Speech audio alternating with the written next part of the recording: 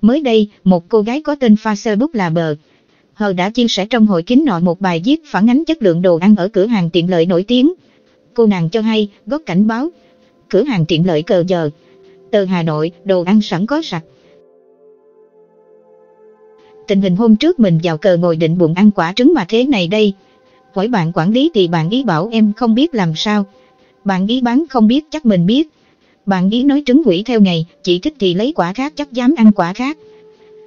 Cần 100 anh em cho mình biết quả trứng này bị làm sao chứ mình cũng ăn nửa quả rồi bóc hết mới thấy, cũng sợ không phải thì lại đổ ăn cho các bạn.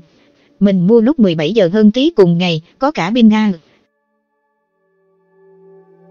Ảnh chụp màn hình Sau khi bờ, hờ chia sẻ bài viết này, dân mạng lại nổ ra tranh cãi gay gắt.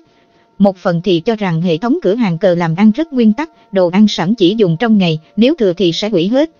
Do đó, trứng bị mốt này đúng là nằm ngoài tầm kiểm soát của quản lý cửa hàng, và việc nhân viên này trả lời không biết là hoàn toàn bình thường. Quả trứng bên trong ai biết được, trả lời vậy rồi còn bắt bẻ gì. Bạn phố cờ thì không sao, nhưng sao lại trách nhân viên? Quả trứng luộc thì ai được bóc vỏ ra đâu mà biết bên trong như thế nào. Nhân viên họ cũng đâu có biết. Tưởng bóc phốt thành công ai về bị chửi quá trời. Trứng thì làm sao mà biết được, xác suất trứng võng cũng là chuyện bình thường mà. Nhân viên bảo đổi quả khác rồi còn muốn gì nữa. Chả lẽ muốn nó phải biết rõ tường tận là tại sao, như thế nào nữa à? Bạn cũng có giải thích được đâu, phải bê lên đây hỏi mà.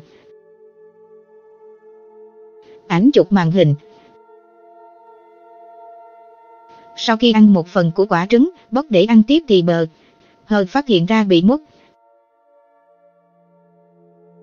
Bên cạnh đó, không ít người cũng lên tiếng bên dược huyện bờ và cho rằng nhiều cơ sở thường sẽ tái sử dụng đồ ăn sẵn, chỉ dán ra tem mới đè lên.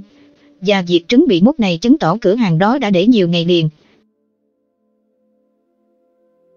Trứng này chắc phải để lâu lắm rồi nó mới mút được. Tới thà ăn đồ khô còn hơn là đồ ăn sẵn này. Mình thấy ý bạn thớt muốn nói trứng mút như kia là do luộc rồi để lâu. Luộc để lâu mà bán cho khách thì là sai rồi.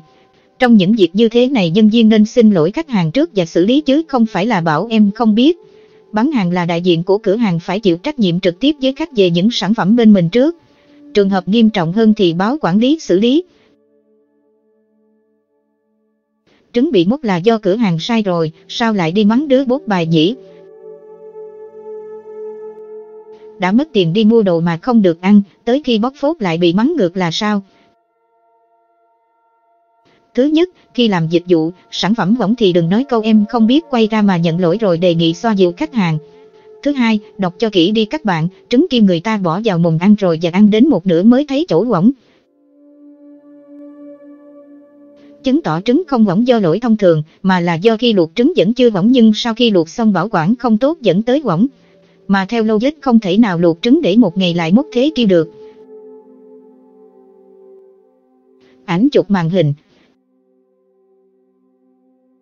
hiện tại vẫn chưa rõ thực hư nguyên nhân trứng bị mất, cũng không có bằng chứng gì về việc cửa hàng tiện lợi cờ sử dụng hàng để lâu bán cho khách, thế nên dân mạng vẫn tiếp tục tranh cãi nảy lửa.